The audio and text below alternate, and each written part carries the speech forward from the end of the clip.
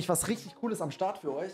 Und zwar, zeige ich das mal schnell. Und zwar hier kurz Werbung in eigener Sache, aber richtig nice. Und zwar jetzt morgen am Freitag, ne, heute ist Donnerstag, oder? Ja, morgen am Freitag kommt nämlich in meinem Shop iCramix.shop das neue School Bundle rein. Ja, ich zeige euch das mal. Und zwar, das ist auch wieder extrem limitiert wie die Badehose. Wenn das Ganze ausverkauft ist, dann ist das auch wieder weg. Aber ihr könnt mir ja jetzt hier mal im Live-Chat, ihr könnt mir mal direkt reinschreiben, wie ihr das findet. Und zwar, ich dachte mir, es sind ja jetzt Sommerferien oder viele haben noch Schule, manche haben auch schon Sommerferien. Auf jeden Fall dachte ich mir, wenn nach den Sommerferien die Schule wieder weitergeht, möchte ich natürlich, dass ihr optimal vorbereitet seid. Und deswegen gibt es ein komplettes Schulset. Dazu gehört einmal natürlich der Turnbeutel. Und jetzt passt mal auf. Passt mal auf, Leute. Passt mal auf, Leute. Die iCrimex Brotbox. Ich bin richtig stolz drauf. Wisst ihr, wie lange wir an dieser Brotbox gearbeitet haben? Hört sich vielleicht dumm an, aber die Maße, ey Leute, wir haben, glaube ich, fünfmal die Maße geändert von dieser Brotbox, sodass da wirklich auch ordentlich was reinpasst. Hier mit Doppelverschluss. Guckt euch das hier mal an. Kamera fokussier. Hier schön mit iCrimex Logo drauf. Hier auf beiden Seiten so ein Doppelverschluss. Und ich würde sagen, eigentlich so die optimale Größe. So ein schönes Brot und so passt da auf jeden Fall rein. Auch schön in schwarz, Leute.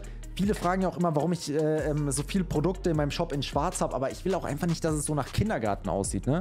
Also, weil ich, klar, ihr könnt ja mal reinschreiben, Live-Chat. Ich weiß, ich habe auch viele jüngere Zuschauer. Aber seid mal ehrlich, oft finde ich so Sachen auch einfach voll auf kindisch, wenn das so todesbunt ist und so. Wisst ihr, was ich meine? Und äh, ich weiß noch damals, als ich in der Schule war, man will ja auch irgendwie in der Schule, wenn man, man ist zwar jünger, man ist vielleicht 12, 13, 14, aber trotzdem will man ja nicht mit Kindersachen rumlaufen. Wisst ihr, wie ich meine? Ich kenne ich kenn euch doch so, ne? Ihr seid 12, 13, 14, vielleicht älter, vielleicht jünger. Man will ja aber trotzdem irgendwie was Cooles haben, ne? Schwarz einfach beste, einfach clean schwarz. Das sieht richtig nice aus. Nicht so irgendwie so eklig, komische Brotbox. Einfach richtig schön. Also beim einem School Bundle, beim iCramix Schulset auf jeden Fall der Turnbeutel, die Brotbox. Dann geht es natürlich noch weiter. Boah, Leute, guckt euch mal diese Trinkflasche an.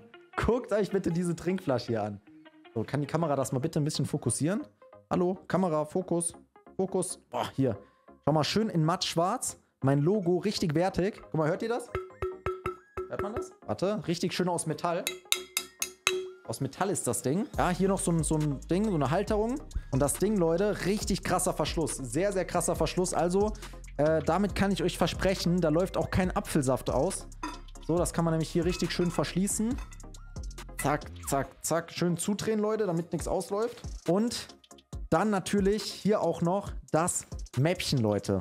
So, hier auch einmal fokussieren. Natürlich mit hochwertigem Stick, Leute. Nicht drauf gedruckt. Schön eingenäht, eingestickt, Leute. Bam. Also wenn das... Seid ehrlich, Live-Chat. Seid ehrlich. Das Schulset ist schon nice. Hier mit einmal einem Fach für so, keine Ahnung, so kleinere Sachen, so ein Lineal oder sowas reinzumachen. Und dann haben wir hier noch einmal so ein breiteres Fach für die ganzen Stifte, Füller, Radiergummi, whatever. 10 von 10. Also ich muss auch sagen, ich bin sehr stolz drauf. Haben wir tatsächlich auch uns äh, sehr lange Gedanken gemacht, ich mit meinem Team. Alles, alles natürlich wie immer eigene Produktion. Also wie auch bei meinen Shirts, eigene Labels, eigene Tags und so weiter. Also das ist hier kein kein Billig-Scheiß, wie andere YouTuber das machen. Und das gibt's eben alles in einem Set im iCrimex School Bundle ab morgen 12 Uhr in meinem Shop iCrimex.shop. Wie gesagt, nur solange der Vorrat reicht. Ihr kennt mich, ich sage das nicht irgendwie als Verkaufsstrategie oder so, aber ich habe es auch bei den Badehosen gesagt. Die Badehose war auch limitiert, ist ausverkauft. Und äh, so wird es eben auch bei dem Schulset sein. Also wenn das Ganze ausverkauft ist, wir können dieses Jahr keine mehr nachproduzieren. Wie gesagt, das ist äh, alles eigene Produktion. Das kriegen wir dieses Jahr nicht mehr hin. Deswegen, also wenn es weg ist, ist es weg. Wenn ihr es haben wollt, seid auf jeden Fall morgen am Start. Ihr wisst Bescheid. Und Leute, das Ganze soll natürlich hier nicht nur Werbung sein. Ich will euch jetzt nämlich noch zeigen, was demnächst noch alles kommen wird. Ne? Die Produkte, die ich euch jetzt zeige, die sind noch nicht im Shop. Dieses dauert auch noch ein bisschen, bis sie in den Shop kommen. Aber will ich euch trotzdem zeigen. Leute, mein absoluter Favorit, guckt euch das hier mal an. Ja, viele, viele haben äh, es ja schon erwähnt oder ich habe es ja auch gerade schon erwähnt. Viele haben es äh, vielleicht auch kritisiert oder auch sich gewünscht, dass wir auch mal andere Farben bringen. Bis jetzt aktuell alles schwarz im Shop. Aber Leute, guckt euch mal diese Sommerfarbe an. Guckt euch diese Sommerfarbe an. Bro, Ey, also ich sage euch ehrlich, dieses T-Shirt, ne, bis wir diesen Beige-Ton hatten, Leute, ich glaube, fünf, fünf Versuche reichen nicht aus. Fünf Versuche reichen, glaube ich, nicht aus. Immer wieder neu produziert, immer wieder neu eingeschickt. Also ich bin wirklich generell auf mein Merch, ich bin, eigentlich darf man das nicht Merch nennen. Eigentlich ist das meine Marke, muss man so nennen, weil Merch ist eine Beleidigung dafür. Ihr seht es bei allen T-Shirts, bei allen Produkten. Vielleicht sind ja auch hier der ein oder andere im Live-Chat, der schon mal was bestellt hat aus meinem Shop. Dann schreibt jetzt mal bitte rein, wie die Qualität ist. Wirklich. Ich sag euch, Jetzt no front an andere YouTuber, aber meine Sachen haben nichts eigentlich mit YouTuber-Merch zu tun. Wirklich. Das ist, das ist, ihr seht das, eigene Produktion, da ist nicht irgendwie so Fruit of the Loom oder irgendein komischer Merch-Anbieter-Ding. Nein, das sind eigene Schnitte, diese Stoffe. Das ist so, wie ich meine T-Shirts am liebsten trage, eigen produziert, so wie ich gesagt habe. So sind die Schnitte cool für meine Zuschauer. Wirklich dicker Stoff, Leute, der Druck auch sehr wild. Eigene Tags. Guck mal, Leute, wenn ihr was bestellt, einfach eigene Tags. Leute, wel welcher YouTuber hat so ein Merch mit eigenen Tags an den eigenen Labels? Wild, wild. Also auch die neue Farbe, muss ich sagen, gefällt mir unfassbar gut. Wirklich sehr, sehr wild geworden. Ähm, das beige Shirt kommt, ähm, lass mich nicht lügen, ich glaube, das kommt in einem Monat. Circa in einem Monat wird das in den Shop kommen. Jetzt morgen erstmal der School Drop. In einem Monat circa kommt, äh, wie gesagt, das beige Shirt. Auch sehr nice. Wir haben sehr, sehr viele coole Sachen geplant, Leute. Ähm, was auch noch in der Planung, ich zeige euch jetzt auch noch ein paar Prototypen, mit denen wir aber noch nicht so ganz zufrieden sind. Da könnt ihr jetzt ja auch mal als Live-Chat sagen, was ihr euch daran anders wünscht, ja? Finde ich, glaube ich, auch ziemlich gute Sache. Also das sind jetzt noch so Zukunftsvisionen, an denen wir gerade arbeiten. Und zwar ist das einmal noch hier so ein, ähm, so ein Mauspad, an dem wir arbeiten. Finde ich auch ganz cool schon. Das ist so, so Lederoptik-mäßig. Ähm, dann haben wir hier nämlich auch noch mein, mein Label eingestanzt, also den iCramix-Schriftzug, mein Logo, so eingestanzt. An sich von der Qualität finde ich schon sehr gut. Also wirklich auch so, so schön eingeprägt hier, so, so Lederoptik. Gefällt mir extrem gut. Aber Leute, das ist sehr klein. Guck mal im Vergleich zu meiner Maus. Also das habe ich auch schon in der Produktion gesagt, wir brauchen das auf jeden Fall größer. Das Mauspad ist sehr, sehr klein. Gerade, ihr wisst es, Leute, als Gamer braucht man auf jeden Fall ein größeres Mauspad. Wenn man mal über den ganzen Bildschirm äh, aimen muss, ist das auf jeden Fall ein bisschen größer, auf jeden Fall, ja, safe. Also M7 schreibt sie auch gerade auf jeden Fall ein bisschen größer. Aber ähm, rein qualitativ ist das schon, bin ich schon, also Qualitätscheck ist schon top aber muss noch ein bisschen größer gemacht werden. Und einige haben auch geschrieben, kein Leder. Soll, sollen wir lieber, ich glaube so Stoffoptik, sollen wir lieber Stoff machen? Ich dachte vielleicht, falls mal irgendwie Getränk oder sowas ausläuft, fand ich das halt gut, einfach zum, zum Abwischen. Seid mal ehrlich, schreibt mal Stoff in den Chat oder Leder lieber, was ihr besser findet. Ist halt, ist halt pflegeleichter. Also hier, müsst man, hier muss man halt dazu sagen, wenn euch hier eure Limo, wenn euch hier die Paulberger Limo mal ausläuft oder sowas, das kann man halt besser abwischen. Stoff ist halt, äh, ich weiß nicht, Stoff ist halt vielleicht an sich, hat auch Vorteile. Ich weiß es nicht. Ich weiß es nicht, Leute. Muss man mal gucken. Ich guck mal, Leute. Ich werde das auf jeden Fall noch testen. Bevor es in den richtigen Shop kommt, wird das noch getestet. Vielleicht wird es auch am Ende Stoff. Schauen wir mal. Auf jeden Fall, das war das Mauspad. Dann sind wir natürlich auch schon an der Winterplanung dran. so, natürlich wird es auch Mützen geben. Hier bei der Mütze, ich kann die mal kurz aufziehen. Bin ich aber ehrlich gesagt mit dem Schnitt noch nicht zufrieden. Der Stick ist schon sehr, sehr nice geworden. Hier einmal, ich zeige euch das mal in der Nahaufnahme. Äh, der Stick ist schon sehr, sehr nice geworden.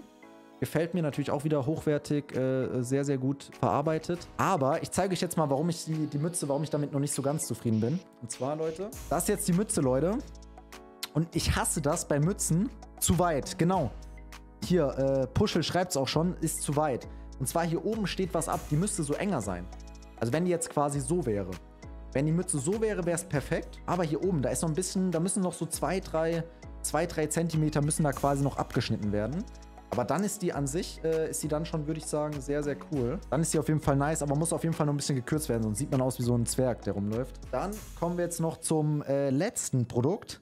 Und zwar eigene Socken. Auf jeden Fall auch sehr, sehr nice. Ich bin jemand, ich trage immer Tennissocken. Also Real Talk, ich habe in meinem Schrank. Real Talk, Leute. Ich habe nur Tennissocken. Ich trage, egal auf kurze, auf lange Hosen.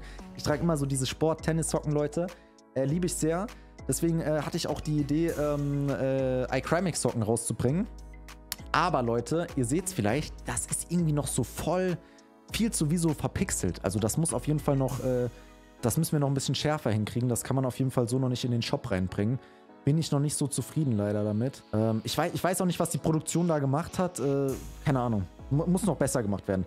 Also an sich, der Socken an sich ist natürlich schon gut, aber bei einem Socken kannst du halt auch nicht viel falsch machen. Aber da ist halt irgendwie der Stick äh, noch nicht so, so gut. Ne? Das sieht halt leider noch zu verpixelt aus. So, und zwar, warte, Amazon. Auf Amazon wird nämlich schon seit äh, sehr, sehr langer Zeit, und zwar auf äh, Amazon, meine Freunde, wird schon seit sehr, sehr langer Zeit Fake-Merch von mir verkauft. So, ich zeige euch das mal hier. Also das, das ist wirklich schlimm, Leute. Ich finde das wirklich schlimm. Da wird einfach wirklich die ganze Zeit Fake-Merch von mir verkauft. Ich habe auch gemeinsam mit meiner Anwältin, wir haben Amazon schon abgemahnt mehrmals. Amazon reagiert da einfach nicht drauf. Ihr wisst es ja, ich habe euch das schon öfter mal erklärt. Äh, oder auch mal in Videos gesagt, dass äh, das Fake-Merch von mir auf Amazon verkauft wird.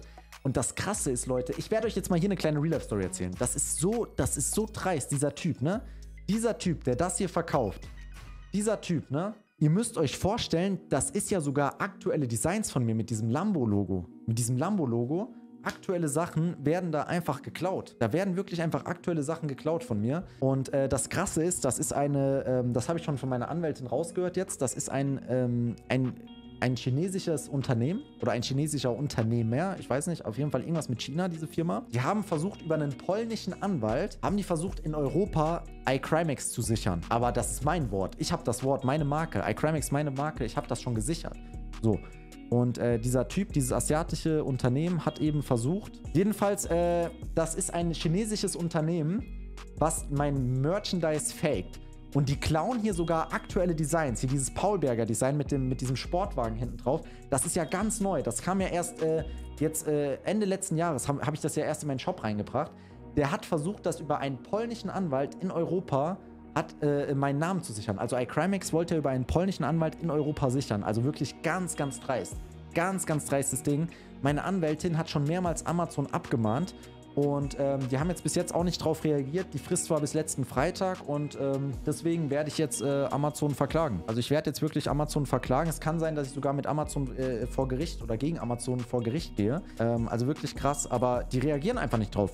Amazon, es juckt Amazon einfach nicht, dass dort jemand Merchandise in meinem Namen verkauft. Bro, das ist frech. Das, also das ist wirklich frech. Und das Ding ist ja, Leute, ich möchte, ich, ich möchte das jetzt hier wirklich nochmal betonen. Es geht mir dabei wirklich nicht um Geld. Geld. Leute, wirklich. Guck mal, ich mache zehn Jahre YouTube. Ich hatte irgendwann früher, hatte ich mal Merch gemacht, aber das hat mir immer nie so gefallen mit diesen Firmen. Und ich glaube, ich habe seit 2017 habe ich kein Merchandise mehr gemacht. Bis letztes Jahr.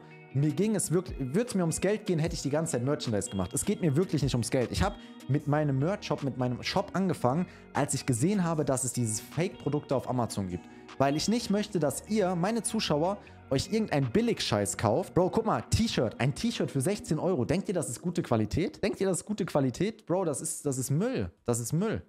So, und jedenfalls, und das Schlimme ist ja, wenn ihr Müll kauft bei diesem Fake, dann denkt ihr, ist, dann denken noch Leute, das wird von mir kommen. Dann denken Leute, ich würde meinen Zuschauern schlechtes verkaufen. Und das war der Grund bei mir, warum ich dann angefangen habe, eigenes Merch zu machen, weil ich nicht möchte, dass ihr Geld ausgebt und da Müll kauft. Ich möchte nicht, dass ihr euer hart verdientes Geld oder das von euren Eltern für Müll, für Schmutz ausgebt. Und, und das ist das Ding. Und äh, deswegen auch nochmal hier zur Info. Bei mir, von mir auf Amazon ist nur mein Buch. Nur mein Buch ist von mir auf Amazon. Alles andere, was ihr seht von mir auf Amazon, ist wirklich fake. Bitte kauft da nichts, bitte supportet diese Leute nicht. Es geht mir gar nicht ums Geld, aber supportet bitte einfach nicht dieses asiatische Unternehmen, was versucht, mit meinem Namen Geld zu machen.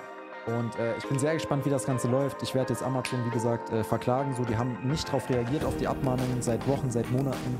Und äh, ja, ich bin gespannt. Ich bin sehr gespannt, ob, ob wir das irgendwann mal schaffen, dass Amazon nicht mehr äh, meine Produkte da verkauft. Weil an, an, sich ist Amazon schuld, weil die lassen, die lassen das durchgehen. Let's go am Freitag, wisst Bescheid. Morgen 12 Uhr, Back to School Bundle, iCrimis.shop. Let's go, Freunde.